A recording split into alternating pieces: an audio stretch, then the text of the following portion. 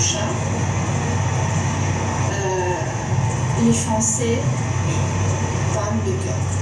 Si nous prenons un exemple, un russe, de chat en français, on va dire euh, parler euh, cœur à cœur. si nous parlons en russe de euh,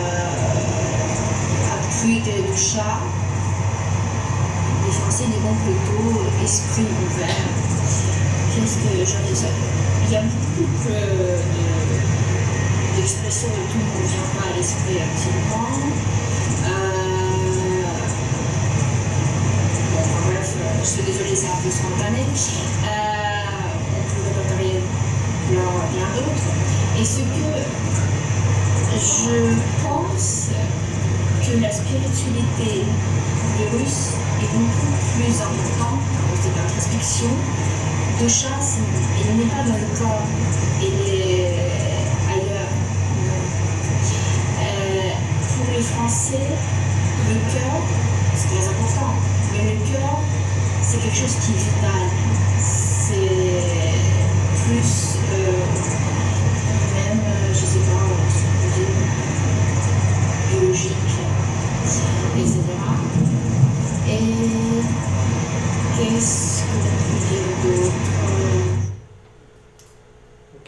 for anyone, for the people who don't speak French, she's really arguing that the, she doesn't say it here. The people change when they actually get interviewed, uh, and they're a little less trenchant. But she, at the beginning, she says the French will never understand the Russian soul because when we speak of the Ruskaya Dusha, when we speak of Rus- Ruskaya Dusha, they speak of le cœur. Hold on, start again. Hi. Eh? Can I start? I'm Sato. And then? Where were you born? Um, I was born in Japan. Yes. Yeah, and uh, what, what language do you there? Japanese and uh, little bit English. Yeah. Um, and then and then what speaking about? Okay, speak about the heart. Uh, how do you understand the heart in English? How do you understand the heart in Japanese? Hard, uh, hard, hard to learn another language. That is difficult because it's completely different.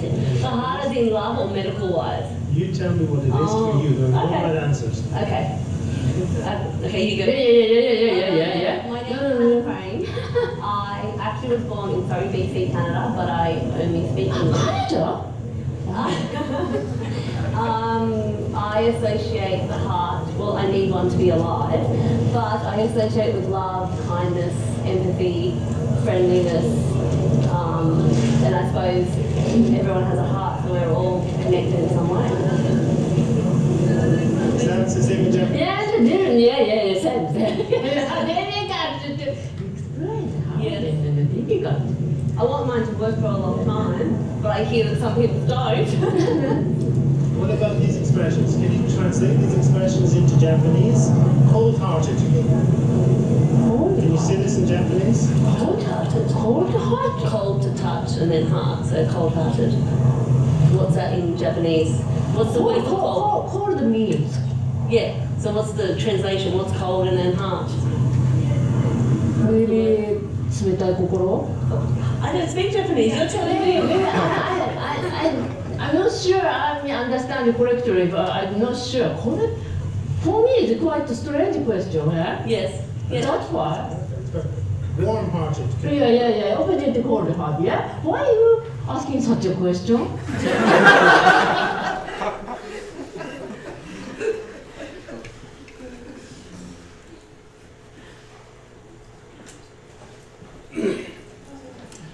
So this paper is about translating and understanding the heart, but this is not necessarily the heart that I was thinking of when I asked my questions.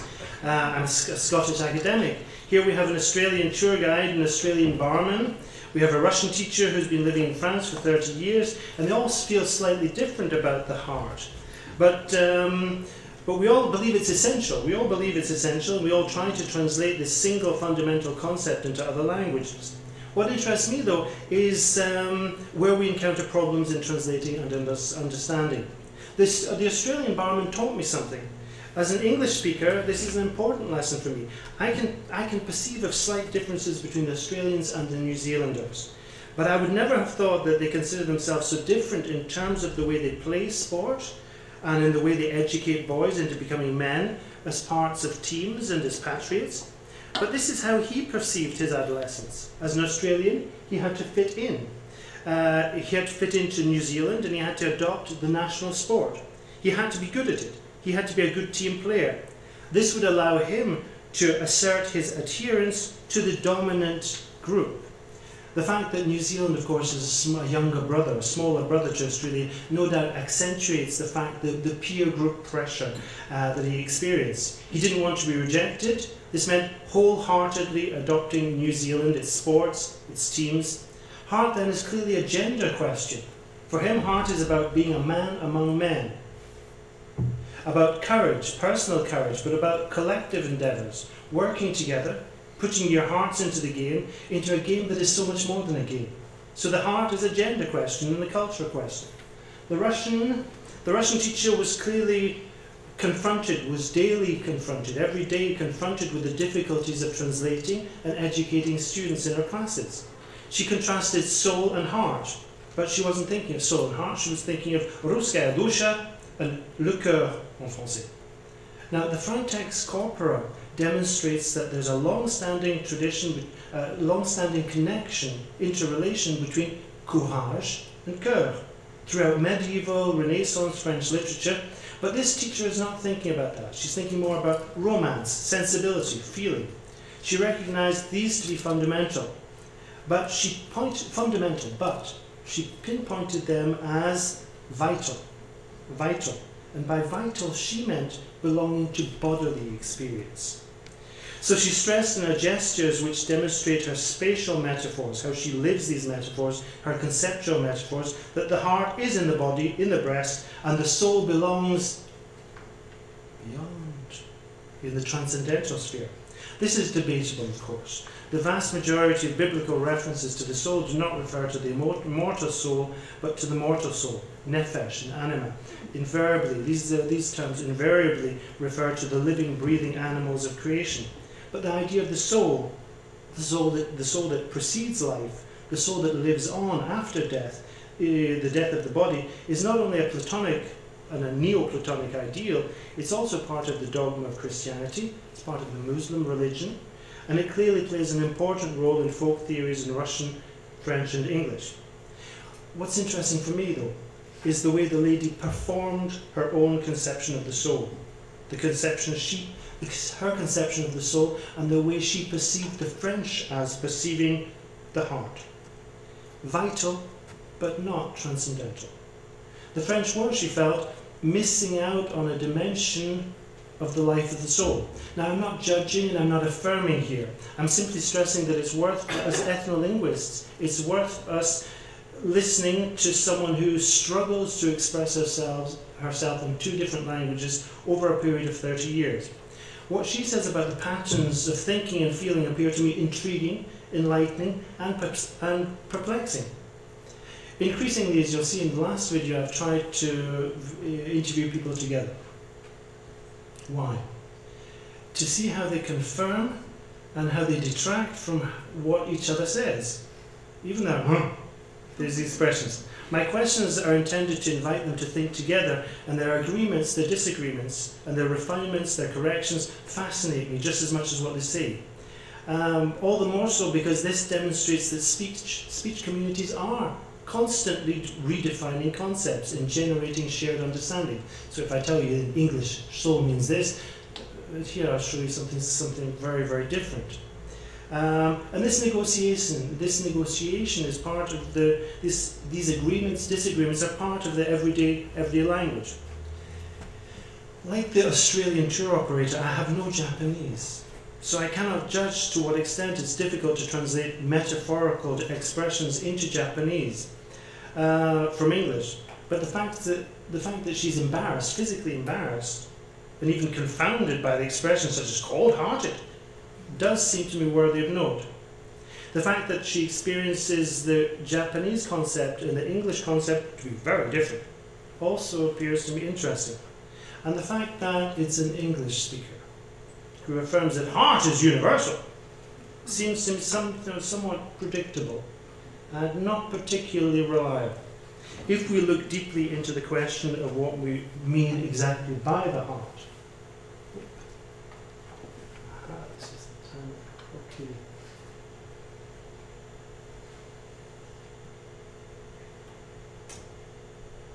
Okay then, this is going to be my plan. I'll look at the video counters that we've seen. I'll consider dictionaries, corporate texts and questionnaires, interviews. I'll now go into the conceptual definition and then I'll go into the translation paradox that the heart is easy and very difficult to, to, to very difficult to translate.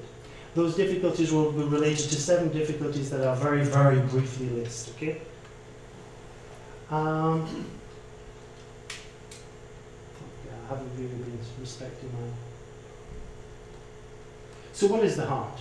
And what does it, does it coincide with the other languages I've looked at? Herz in, in German, Cœur in French, Srdce uh, in, in Czech. If the, if the heart uh, if the heart exists, then it must exist somewhere. And this is something that uh, uh, this is something that people would stress um, that the heart is central, it's fundamental. They would often touch their chest, but at the same time, they would often open up their hands to stress the capacity of the heart to open up to the world. The idea of putting their hearts into something was fundamental for many people, especially the, the Australians I interviewed. Some people opened up their arms to enfold as much space as possible, and they declared that the heart was something fundamental, but was, the heart was vast and all embracing. Now, the barman's colleague, who we don't have time to look at, but we saw in, in Warsaw, uh, the barman's colleague was a well travelled young woman. She declared that the heart was everything friends, family, Australia. Others seem to indicate that the heart referred to a private space, the, the inner self. The French speak of the fort intérieur and the cœur as synonyms in this sense. However, the heart was invariably dynamic. It was expanding or it was recentering itself, recentering itself. It was interactive, opening up to others, embracing them, feeling for them.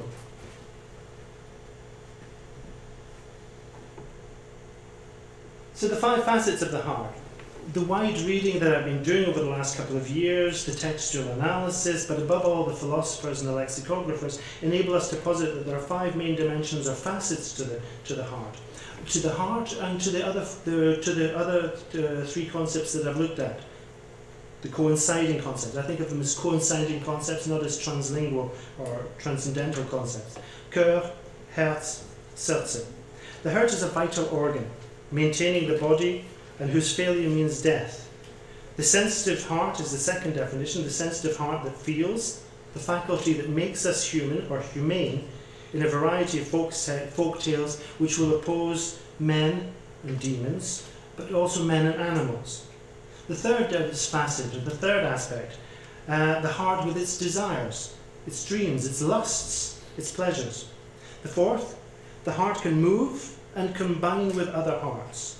The heart can offer itself, it can offer itself up, it can attach itself, it can withdraw itself, but it can but also win and keep the hearts of others, just as it can spurn or abandon them. The fifth dimension, the heart as the second self, the inner self, the true nature, the heart of the intuition that speaks to us. This is linked to the intellectual soul, if we look at Aristotle, Aquinas, or Augustine, these are uh, the, the specific powers of the soul that speak of, and this is one important part. The intellect, they'll see this as part of the intellectual soul or the spiritual soul. This second self that can do what? It can advise us. It reminds us. It reminds us of the fleeting nature of our overpowering desires, and often intuitively, it knows us better than we know ourselves. This is the heart that workaday business, everyday business, tends to drown out. And that's why we're reminded by religious leaders, by religious leaders, poets, uh, but also marketing adverts, uh, also coaches uh, interested in well-being will remind us to not neglect this heart. The paradox about the heart then, the paradox about the heart is that the heart turns out to be very, very easy to translate and some aspects of the heart are very hard to translate. How does this work out? If we look at, look at the, the internet, we'll find lots of examples of, of das Herz zu hören, listen to your heart, écoutez le cœur, poslouchejte své srdce. That, okay, here, uh, okay. Okay, I'll just read these out very, very quickly. Okay, pardon Marco if the pronunciation is not perfect, you correct me if my translations uh, are faulty. But I, I don't experience any difficulty translating these expressions. Warum ist es so wichtig, auf das Herz zu hören und wie gelingt es, äh, die Stimme des Herzens wahrzunehmen und ihr zu folgen? Kopf oder Herz? Du, so lernst du auf dein Herz zu hören, Gedankenpower. Why is it so important to listen to your heart? And how do we manage to perceive? How can we manage to perceive, perceive and follow the heart? Head or heart, listen to your heart, thought power. And I've missed this in the German uh, text, I should have kept it. Should you follow your heart or your head? My heart says yes, my head says no. In French? Pourquoi est-il si important d'écouter le cœur Et comment parvient-on à percevoir et à suivre la voix du cœur Tête ou cœur, c'est ainsi que vous apprenez à écouter votre cœur, la puissance de la pensée. I'm not experiencing any difficulty uh, dealing with this. Suivre la tête ou le cœur, mon cœur dit oui, ma tête dit non, which seems to me perfectly French. Now we might think this is simply the standardization, standardization of the internet with the constant translation. But if we look to the great texts, if we look to the Bible, it's almost systematic that the curve will be looked at different translations uh, uh, from various uh, French translations, and the curve is usually translated by heart in Herz, um, and I'm not experiencing any problem here. So if we go back to Esau, and uh, this is from Esau and Jacob, Esau's jealous of his brother, and he decides to kill him. If we move from the King James Bible, and Esau hated Jacob because of the blessing wherewith his father blessed him. And Esau said in his heart, The days of mourning for my father are at hand, and I will slay my brother Jacob. Und Esau war Jakob gram, um des Segens willen, mit ihm den sein Vater gesegnet hat, und sprach in seinem Herzen. Okay? And the word he uses uh, würgen, sometimes it's translated in this Bible as uh, umbringen. Esau conçut, conçut une haine contre Jacob à cause de la bénédiction dont son père l'avait béni, et a Esau a disé dans son cœur, le jour de deuil de mon père vont approcher, et je tuerai Jacob mon frère. So, for me as an ethnolinguist used to the difficulty of concepts and the difficulty of translating, it's terribly perplexing to see how easy this translates. Paradoxically, we have a very complex concept, but it translates very easily. All of the five, all of the five dimensions of the heart listed above appear to be active in the four languages. I've studied corpora, textual analysis, interviews, and very much pop songs. The vital organ, the faculty of perceiving, the desiring heart, the generous loving heart, uh, the heart that can offer itself to others, the heart of our intuition that acts as our guide, many of our, our conceptual metaphors seem to coincide.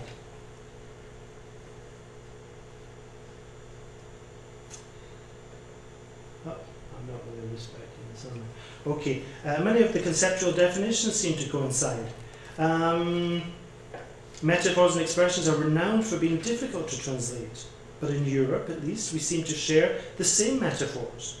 The cold heart, the open heart, the heart of stone, even the absence of heart, all contribute to constructing complex narratives about what it means to be human, fully human. Indeed, if we were to take Europe as the world, which we often do as Eurocentric ethnolinguists, uh, we might be inclined to consider that the heart is a universal. Wierzbicka reminds us it is not. But we might be inclined to believe it is. And certainly the major religions uh, and religious thinkers today, such as Nogel, uh, invite us to think of the heart as this faculty of feeling, this heart as a universal.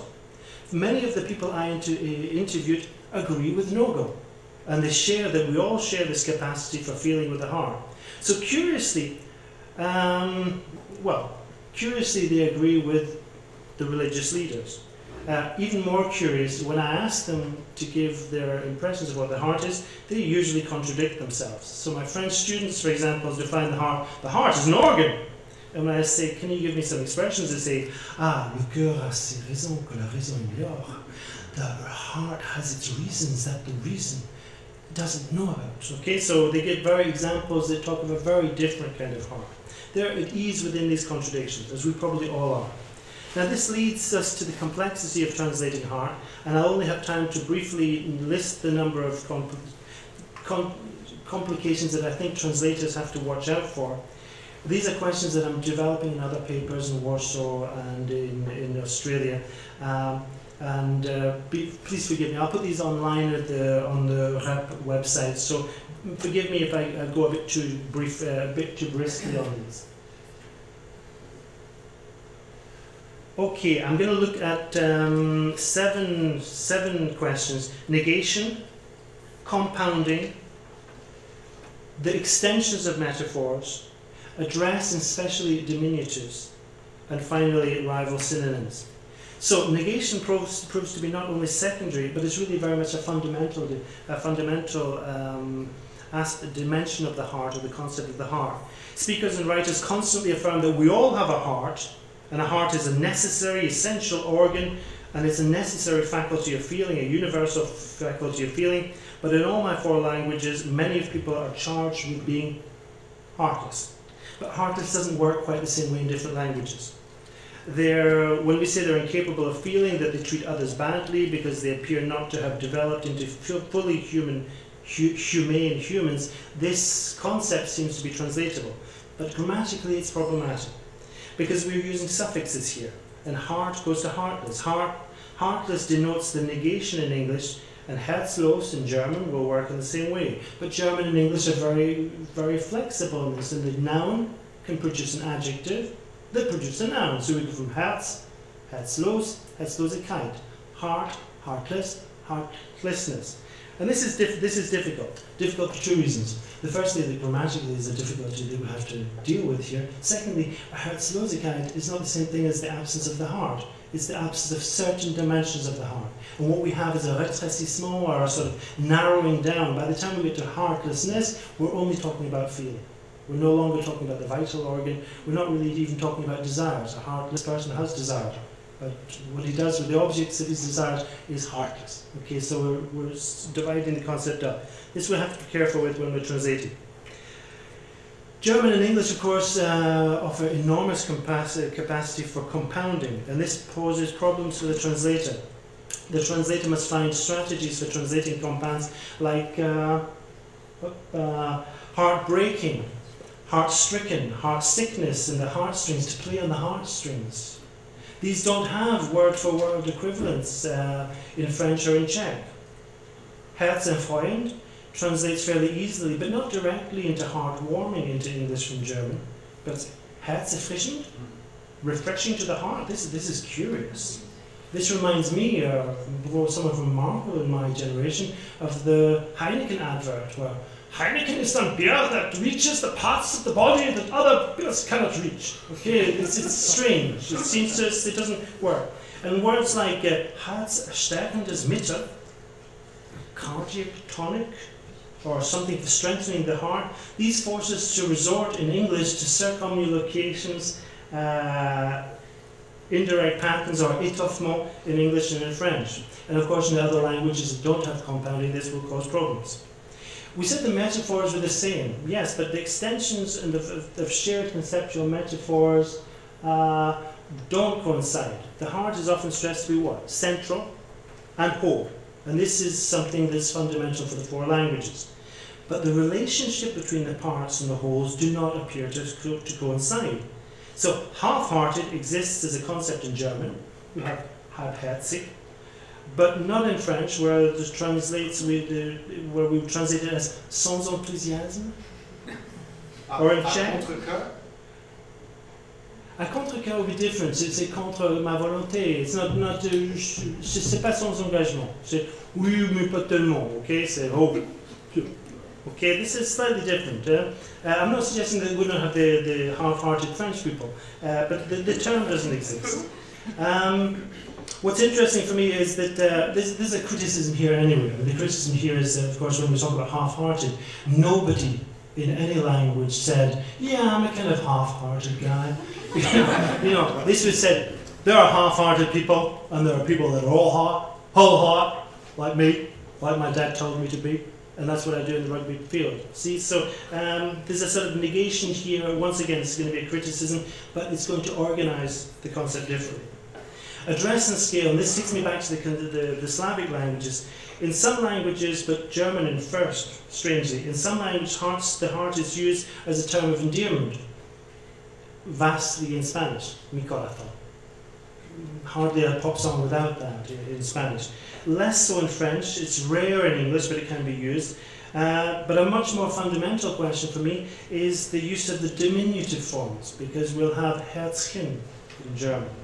Uh, we'll have other lots of diminutives, but Dushenko, moving from dusha, from the soul, might be one. Polish and Slovak also use the diminutive forms widely uh, as expressions for what? Honey or dear. Um, um,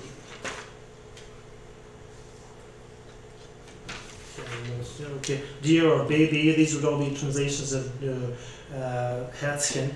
Uh, there's an important distinction, however, with the Czech, for example, because Czech has kept the old declination form of the vocative as a mode of address.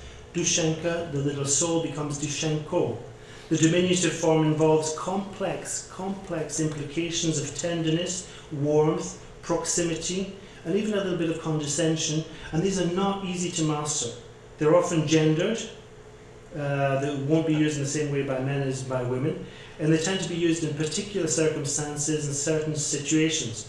Diminutives take us back to rapport, the way we feel about others, the way we express our feelings, and these questions are fundamental, of course, for the heart.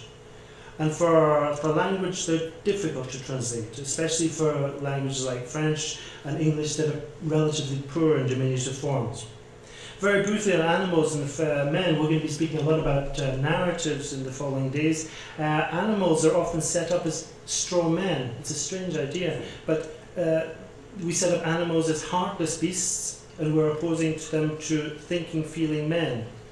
But at times we uh, attribute, uh, for example, at times we'll attribute the heart to certain animals. Lions, bears, elephants, tigers have hearts, but chickens, Chickens don't have hearts, okay? Chickens and lilies. And here we start setting up. Uh, okay, I'm really not respecting this PowerPoint, sorry. Uh, here we'll get chickens and lilies that will set up parallel narratives uh, in which chickens are living and lilies are living, but animals and flowers are pretty much the same thing, as opposed to lions. Uh, the problem here, of course, is that, you know, as we saw today with Indies, you know, that in John's presentation, is that, of course, these narratives are cultural narratives with cultural symbolism for, for, for all of the animals. The animals are sto- these are stories about people and how we understand people and use animals for them. And these translate very diff- with great difficulty when we translate our mythology and fables. Um, gender then. Men can be heartless. Women can't. Men can be heartless, which means that they are no longer men. They're inhuman animals. They're bastards, inhuman bastards. But women, uh, women are no. Women can't be heartless because, as we see in the corpora, women lose their femininity. They are no longer women if they're heartless. Why? Because woman is supposed to, and this is the rappers, the explainers, women are, are educators. They educate men as lovers, as mothers, in the domain of the heart. So, how could they refuse to do that? How could you be so heartless? How could you be so heartless? How could you be so heartless? This will be the rapper song. Kanye West he has millions and millions and millions of fans, and he's telling the story, the story that we like to hear, that women are there to look after us, to love us, and to keep us aware of what love is all about. Okay? Um, the final thing then, of course, would be rival synonyms, and I think the Russian teacher, although some of you might not have got the French, is suggesting that the French understand things through the vital feeling of the heart, through sentiment, but the Russians have a Ruskaya dusha. Uh, when I asked this question in, uh, in our uh, conference with uh, Karsten a few weeks ago, I said, well, what do you think about this? What do you think about this? And she said that the French don't understand this. What do you think? You're a French woman living in a uh, Russian woman living in France. She said, well, only Russian women, you know, there's only Russian women who understand it so. Okay, so, but she said that in French and she was reluctant to say this. Okay, so all of us believe that the heart is fundamental, um, but if we look at how the, how the heart is faring, the heart is only half, as, it's, it's very half-hearted. There's only half as many references to heart as there were at the end of the 19th century. So heart is not going out of, it's continually being a very, very creative, creative uh, element, but it's lost some of its creativity. Um, where? In linguistics, in ethnolinguistics, where we don't talk about the heart much, we talk about uh, cognition and linguistic uh, understanding, uh, we talk about the spirit, the Geist, and we think of worldviews and Weltanschauung and Weltansichten. Uh, for the social sciences don't like the word, the heart. They associate it with subjectivity, which of course it is subjective. Psychology, unfortunately, has followed this trend. Um, in publicity, the heart is widely used, but not in human resources. So the relationship in business where the heart is used. So I went to businesses in France and I went to Petit Vie to interview managers of companies, and they all said, well, you can't do business without the heart. You can't have a company without a heart. So even they regarded the heart as fundamental. This is the overriding impression I'm left with from reading, from research, from corpus analysis, and from my interviews. We cannot ignore the heart, or if we do, we do so at our peril, because for most of us, the hearts are some, the hearts exist as a personal truth, as a shared experience, as a faculty to be used, but a faculty to be, to be cultivated, neglected, or lost, and the choice is ours. Of course, we might, as ethnolinguists, we might, as sociologists, uh, we might prefer something that's more scientific, something less subjective, something easier to get a hold on. But if we rely on thinking and feeling, um, but if we rely on, sorry, if we rely on thinking and if we consider only conceptualization in languages, cognition, if we reduce worldviews to thinking, to reason, to analysis, we leave behind many of the questions, the questions that are so obvious to the people who accepted to express their thoughts and their feelings spontaneously about the heart in my interviews. The heart is therefore, I would argue, a fundamental, necessary paradigm for studying languages, worldviews, and speech communities.